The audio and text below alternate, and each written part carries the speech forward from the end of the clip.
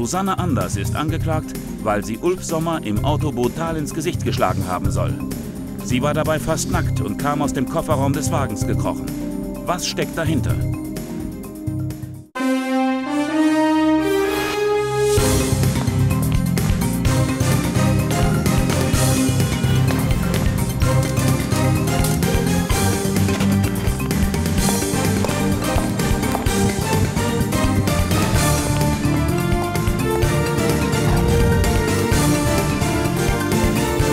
Bitte erheben Sie sich. Richter Alexander Holt.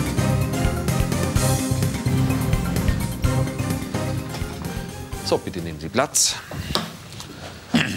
Frau Anders, sind Sie? Ja? Wir verhandeln heute Ihre Strafsache wegen vorsätzlicher Körperverletzung. Die Anklage wird vertreten durch Herrn Staatsanwalt Dr. Flocke. Ihr Verteidiger ist Herr Rechtsanwalt Wiens. Nehmen Sie bitte in der Mitte Platz.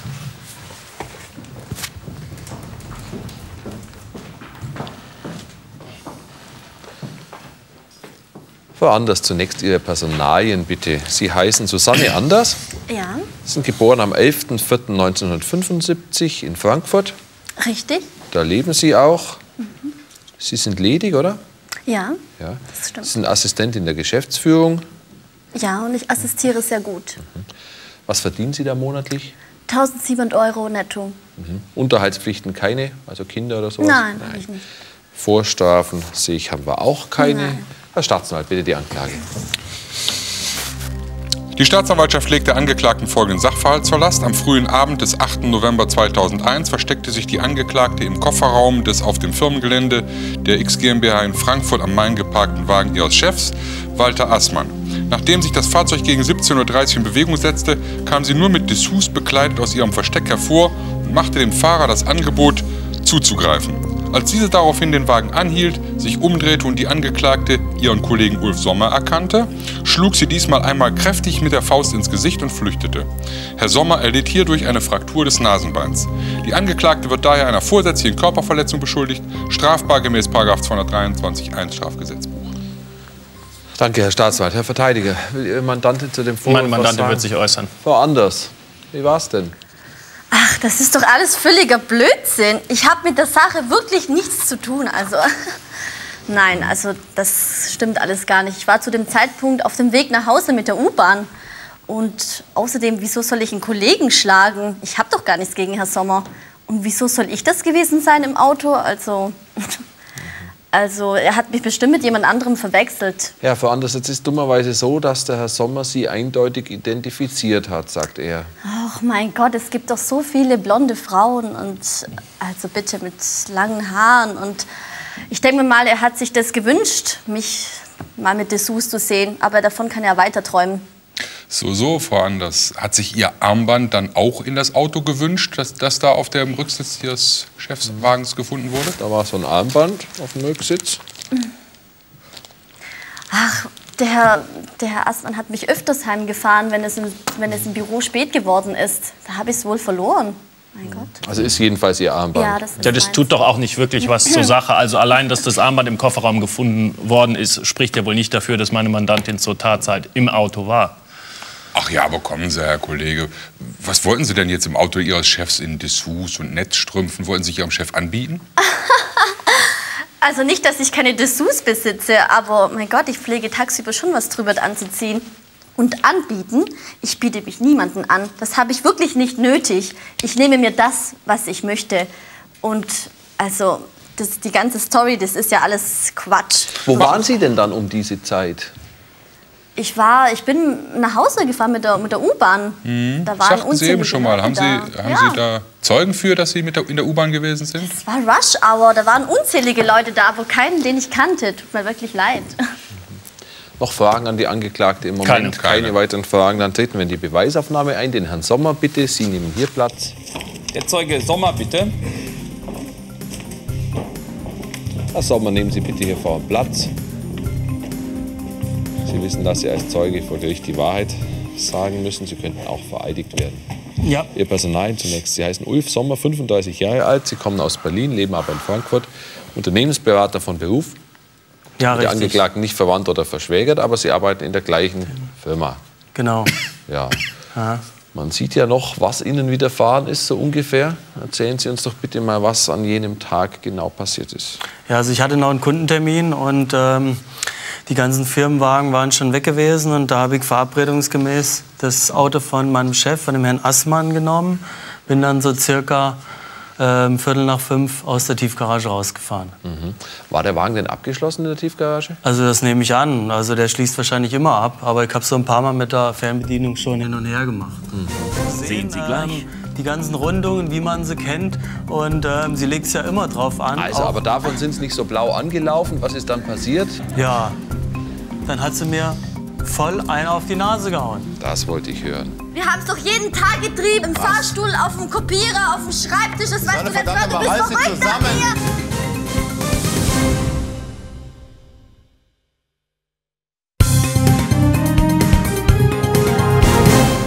Sind Sie losgefahren. Was ist während der Fahrt passiert? Ja, das war wirklich ein Traum und ein Albtraum. Ähm, ich fahre so circa fünf Minuten. Auf einmal höre ich hinter mir so Geräusche. Es knackt und raschelt. Und ich gucke in den Rückspiegel. Da sehe ich hinter mir einfach nur blonde Haare, Riesentitten. Die hingen so oben rüber. Und Netzstrümpfe. Und ja, ich war vollkommen überrascht. Dachte, das ist ja wirklich wie im Traum. Und dann höre ich nur noch die Stimme. Komm, Traummann, fass mich an, greif zu. Und Herr Sommer, haben Sie denn zugegriffen? Nein, ich bin nach rechts rangefahren und habe die Hände die ganze Zeit am Lenkrad gehabt. Hm. Und dann habe ich mich umgedreht. Dann sehe ich eine Wahnsinnsfrau zwischen mir, hinter mir. Die, Bla die riesen Löwenmähne, die Titten, die waren übermächtig über mir und sie hatte keinen Slip an. Das gibt's ja gar nicht. das sagst also du nur alles, um mir eine reinzuwirken, weil ich nie auf deine Anmachen reagiert habe. Du wolltest schon immer was von mir. Aber ganz bestimmt nicht. Auf, auf Sie war ich noch nie scharf, Herr Sommer. Auch wenn Sie sich das gerne wünschen. Ich mir wünschen, was hast du denn so immer, du hast doch immer so schön geredet mit mir, Ach oder? ja, geredet, wie schön. Ja, jetzt lassen Sie uns einfach mal zu diesem denkwürdigen Tag zurückkommen. Ja, Sie sehen also von hinten eine Löwenmähne und? Ja, also ähm, das ist unverkennbar. Ja, und wie Diese ging es dann weiter? Ja, also ich habe mich dann umgedreht, wie ich schon sagte, habe dann so, wie sie hier, also so habe ich sie gesehen, ähm, die ganzen Rundungen, wie man sie kennt. Und ähm, sie legt es ja immer drauf an. Also, aber davon sind Sie nicht so blau angelaufen. Was ist dann passiert? Ja, dann hat sie mir voll einen auf die Nase gehauen. Das wollte ich hören. Ja? Und die Nase ist geknackst und da haben wir auch ein Gutachten, das wir ausdrucksweise verlesen. Fraktur des Nasenbeins, Böllung und Hämatome im Gesichtsbereich. Sieht man ja noch. Haben Sie denn die Frau irgendwie berührt oder bedroht? Also konnte ich ja überhaupt nicht. Ich bin ja, wie ich schon sagte, ähm, rechts rangefahren, hatte die Hände immer im Lenkrad gehabt und dann habe ich mich umgedreht. Und ähm, da war gar nichts weiter gewesen. Also Ohne da dass Sie irgendwas getan hätten, hat sie geschlagen. Was ist denn nach dem Schlag passiert? naja, nach dem Schlag ähm, hat mir erstmal die Nase höllisch wehgetan. Ja, damit du das überhaupt weißt, was du mir da wirklich hier zugefügt Ach, hast. Guck dir das doch mal an. Das Ah. gefällt dir, ja? Das war ich, oder was? Ich weiß ja nicht, welches Flittchen da im Auto saß, aber bestimmt nicht ich. Haben Sie denn eine Idee, warum jetzt gerade die Angeklagte sich genau Ihnen nur mit Dessous begleitet nähern sollte oder anbieten sollte oder wie auch immer? Also das kann ich mir jetzt wirklich gar nicht so ähm, vorstellen, aber die wollte doch, wie ich schon sagte, schon immer was von mir. Ja? Vielleicht war diese ominöse Dame ja ein Teil der Sonderausstattung des Wagens. Das könnte ja auch sein. Und ich glaube, vor Erregung werden Sie sicherlich nicht erkannt haben, ob es irgendeine Blondine war oder eben meine Mandantin. Erregung? Also ich weiß ja nicht, was Sie für eine Erregung jetzt meinen, aber in dem Moment war da überhaupt nichts weiter. Wie hat denn die Frau reagiert, als sie Sie gesehen hat? Ja, also die Frau ähm, war wahrscheinlich erstmal, also das hat man ja gesehen, genauso überrascht und perplex wie ich. Und ähm, dann hat sie aber auch schon, tja, den, ja, sieht man das Ergebnis, den Schlag dann ähm, gleich ähm, ausgeführt. Und dann ähm, sehe ich halt nur noch, ähm, wie sie sich dann schnell noch einen Mantel übergeworfen hat. Bei mir lief ja das Blut, also bei einem Nasenbeinbruch, sehr stark. Und dann ist sie gleich hinten zur Hintertür raus. Noch Fragen an den Zeugen?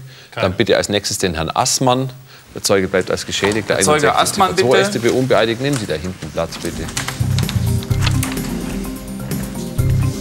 Herr Aßmann, bitte. Platz. Als Zeuge müssen Sie die Wahrheit sagen. Sie könnten auch vereidigt werden, das wissen Sie aber sicher. Ihr Personal, zunächst Sie heißen Walter Aßmann, sind 38 Jahre alt, Sie sind verheiratet, Sie leben in Frankfurt. Und Sie Korrekt, sind Geschäftsführer der Firma, in der sowohl die Angeklagte als auch der Herr Sommer arbeiten. Aber mit der Angeklagten sind Sie nicht verwandt oder verschwägert. Auch das ist korrekt, Ja, ja. also Sie sind der Chef von beiden, wie ich gerade schon gesagt habe. Als Sie dem Herrn Sommer damals Ihren Firmenwagen geliehen haben, äh, da soll Ihre Assistentin ausschließlich mit Dessous bekleidet sich in dem Wagen aufgehalten haben. Können Sie sich das erklären? Also da habe ich äh, überhaupt keine Erklärung dafür. Und ich glaube auch, dass das irgendwie ein Irrtum sein muss. Und äh, wenn ich das sagen darf, ich habe einen ganz dringenden Termin, wenn wir da vielleicht... Ja, genau. Sie haben da einen ganz wichtigen Termin und Ja. der ist hier. Gerichtstermin als Zeuge ist ein wichtiger Termin. Ja. Gut. Was ist denn an diesem Nachmittag des 8. November vorgefallen? Die Angeklagte ist Ihre Assistentin. Ja. Wusste sie denn, dass Sie Ihren Wagen verliehen haben? Äh, Ich denke nicht, nein. Denn Sie hat sich etwa gegen 17 Uhr verabschiedet. 17, 15, 17, 20 etwa kam der Sommer und äh, fragte mich, ob er meinen Wagen haben könne. Ich habe dem natürlich entsprochen, selbstverständlich. Und insofern denke ich eher nein. War denn Ihr Wagen abgeschlossen? Das kann ich nicht sagen. Also der steht bei mir in der Tiefgarage und das ist letztlich, äh, ich weiß es nicht. Das Auto war also nicht abgeschlossen. Es hätte sich theoretisch also eigentlich jeder drin verstecken können. Jeder, der so eine blödsinnige Idee hat, ja klar. Ja, und können Sie sich denn erklären, wie das Armband meiner Mandantin auf den Rücksitz des Wagens gekommen ist? Das kann ich sicher erklären. Das ist, denke ich mal, ziemlich trivial. Wir haben gemeinsame Geschäftsreisen gemacht und bei einer von diesen Reisen wird sie wahrscheinlich ihr Armband verloren haben. So Sie sollen, einfach. Sie sollen Ihre Mitarbeiterin auch gelegentlich mal nach Hause gefahren haben. Bei so einer attraktiven Mitarbeiterin macht man das doch sicherlich mal ganz gerne. Also ich, ich weiß nicht, wie Sie Ihre Mitarbeiterin rekrutieren. Ich, erstmal, ich finde es wirklich eine Unterstellung. Sie ist meine Mitarbeiterin und selbstverständlich ist eine Frage des Deals, dass man jemand dann auch nach Hause fährt nach gemeinsamer Arbeit. Ich denke, das ist selbstverständlich. Aber Herr Aßmann, was reagieren Sie so empfindlich? Sie haben sich doch eine ziemlich attraktive Assistentin zugelegt. Vielleicht hat sich Frau Anders eine hübsche Überraschung für Sie ausgedacht. Sie war schließlich in Ihrem Wagen. Also ich verbitte mir wirklich diese impertinente Anfeindung. Ich rekrutiere doch meine Mitarbeiter nicht nach dem Aussehen, mein Gott. Ich bin Chef dieser Firma. Ich habe dabei Gott andere Vorstellungen. Und ich riskiere doch nicht meine Karriere wegen, wegen letztlich ja einer, einer Tipse. Ich bin Chef dieser Firma und sie ist halt das nur, was sie ist. Das tut mir leid. Entschuldige. Wie bitte? Aber es ist eine Tipse. Was soll's? Wie bitte nur eine Tippse?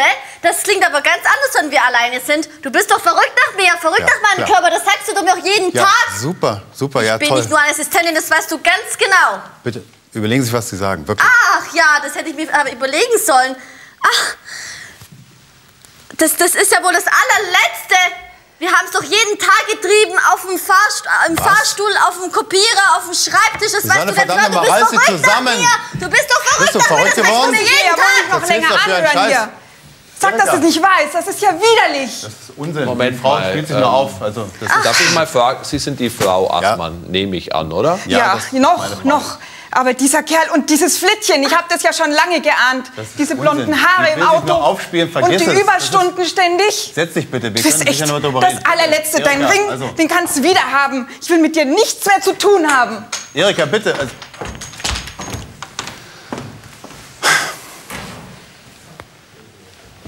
Herr Aßmann, ich habe Ihnen vorher gesagt, dass Sie die Wahrheit sagen müssen vor Gericht. Ja? Die ganze Wahrheit. Wenn Sie das nicht tun, dann haben wir ein Problem miteinander. Vielleicht tun Sie sich jetzt etwas leichter, wenn Ihre Frau nicht mehr da ist. also ich weiß nicht, bin ich jetzt der Angeklagte oder was? Ich sage es jetzt nochmal. Ich habe mit dieser Frau anders. weder vorher noch nachher ein Verhältnis ich gehabt. Sie zum letzten Mal. Waren Sie an dem Tattag in dem Auto? Ja, ich war in dem Auto. Der Herr Aßmann lügt. Wir haben öfter solche Spielchen getrieben. Was ich wollte du ihn überraschen und habe mich im Auto versteckt. Ich, hab, ich bin dann langsam vom Kofferraum raus und Mann, wie, wie sollte ich das ahnen, dass er sein Auto ausgeliehen hat an Herrn Sommer? Ich bin dann rausgeschlichen und ich habe Herrn Sommer von hinten gar nicht erkannt gehabt. Es war schon dunkel und ja, Und als Sie die Verwechslung dann bemerkt haben, da haben Sie zugeschlagen. Ja, aber ich war total, ich war total geschockt. Mein Gott, ich meine, ich war nur mit Dessous und also fast nackt. Was hätte ich denn sagen sollen? Hallo, Herr Sommer, ähm, Wie geht's denn Ihnen? Ich meine, ich wollte nur raus. Es war mir peinlich. Ich wollte nur raus aus dem Auto. Und ich habe überreagiert und, und habe den eine reingeschlagen. Das tut mir wirklich leid. Herr Sommer, das tut mir wirklich leid. Ich wollte es nicht. Ich habe das nicht mit Herr Absicht Assmann, getan. nochmal. Das sollte dir leid tun, ja. Wenn Sie hier als Zeuge was Falsches sagen, dann ist das eine schwere Straftat. Ich erkläre es Ihnen jetzt nochmal, aber jetzt nehme ich mir nicht mehr viel Zeit. Ja? Sobald ich Sie nach hinten entlasse, haben Sie ein Strafverfahren am Hals. Wenn Sie jetzt sich noch entschließen, hier was anderes, die Wahrheit zu sagen, dann ist es straflos. Ja? Ich schreibe. Also, äh, also stimmt. Äh, wir hatten äh, ein Techtelmechtel, aber das, ähm, ich konnte einfach nicht darüber reden. Es war mir unendlich peinlich wegen meiner Frau. Ich wollte nicht, dass sie das erfährt. Details mag niemand hören von den Herren, ich auch nicht. Verzicht auf Vereidigung, bleibt der Zeuge 61.5 StPO unbeeidigt, setzen Sie sich bitte auch nach hinten. Die Beweisaufnahme kann ich auch schließen, nehme ich an. Ja. Das tun wir hiermit. Herr Staatsanwalt, bitte. Herr Vorsitzender, Herr Verteidiger, nach dem Ergebnis der Hauptverhandlung steht fest, dass die Angeklagte am 8. November 2001 den Zeugen, wie er hier sitzt, ins Gesicht geschlagen hat, sodass er eine Fraktur des Nasenbeins davongetragen hat, nachdem sie sich ihm aus dem Auto von hinten angeboten hat, ihn erkannt hat und erschrocken war, was da passiert gewesen ist. Einen Grund für dieses brutale Vorgehen konnte sie selber nicht angeben. Insbesondere hat sie der Zeuge auch nicht irgendwie tätlich angegriffen, dass Notwehr oder sowas ähnliches geboten gewesen wäre. Sie hat schlicht und ergreifend ausgerastet und hat ihn geschlagen. Das ist eine strafbare Handlung, eine Körperverletzung. Die Staatsanwaltschaft beantragt daher, die Angeklagte zu verurteilen zu einer Geldstrafe in Höhe von 60 Tagessätzen zu 55 Euro. Danke, Herr Staatsanwalt. Herr Verteidiger, bitte. Hohes Gericht, Herr Staatsanwalt, meine Mandantin hat sich sicherlich wegen einer vorsätzlichen Körperverletzung strafbar gemacht und sie ist auch insoweit geständig. Man muss ihr jedoch zugutehalten, dass das hier eine klassische Affekthandlung war. Das war keine geplante Handlung, sondern eine Handlung, die sich aus der Situation heraus ergeben hat. Und man muss sich vorstellen, die Dame war äußerst leicht bekleidet und trifft einen Arbeitskollegen, den sie nicht besonders gut kennt. Da kann man schon mal in Panik geraten und überreagieren. Für meine Mandantin spricht weiterhin, dass sie die Tat bedauert und sich soeben auch beim Geschädigten entschuldigt hat. Und bisher ist meine Mandantin strafrechtlich nicht in Erscheinung getreten, sodass ich eine Strafe von äh, 20 Tagessätzen a 50 Euro für angemessen halte. Vielen Dank. Danke, Herr Verteidiger. Sie können selbst noch was sagen. Sie haben das letzte Wort. Ja, ich kann nur wiederholen, dass es mir wirklich alles sehr leid tut. Ich war da total geschockt, als ich Herr Sommer gesehen habe und mir ist wohl die Hand ausgerutscht. Aber es war wirklich nicht mit Absicht. Ich habe da überreagiert und es tut mir wirklich sehr, sehr leid. Und ich wollte auch Herr Astmann nicht in eine Sache reinziehen, weil auch seine Frau da saß. Aber das hat sich jetzt ja wohl auch geklärt. Gut, dann unterbreche ich kurz bis zur Urteilsverkündung. Sehen Sie gleich das Urteil. Und danach Die Schlägerei war im Gange, ja. Der eine hat meinen Dirk von hinten festgehalten, der andere hat ihm immer wieder von vorne in den Bauch geboxt. Der Typ da, der hat uns halb, halb totgeschlagen, hat er uns. Genau wie er es uns angedroht hat. Wer sich gewehrt oder geweigert hat, der wurde dann einfach zusammengeschlagen.